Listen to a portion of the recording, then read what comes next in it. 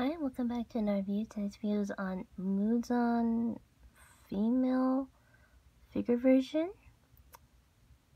So I I wanted him, yeah, I wanted him because I, I really like the kimono.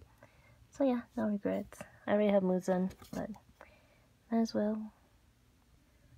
The figure itself can stand by itself. Here's the base, plain black with um, two pegs but because of I guess the kimono uh, he can just stand by himself. I definitely love his eyes. His eyes look so cool. I definitely like the kimono. There's like gold paint and flowers. Definitely like the the kimono. And his hair in a bun the tassels. But yeah I definitely like his expression the most. I'm still debating if I should get the Chao version since I have Muzan as a, I guess, Michael Jackson, now in a kimono, and get the child, complete the family, the Muzan family, I guess. So yeah, you can display him with or without the base. Um, probably won't get the child because I'm running out of space.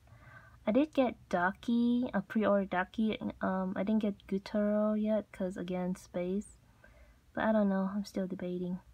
Well, hope you liked this video and I'll see you in the next one. Bye!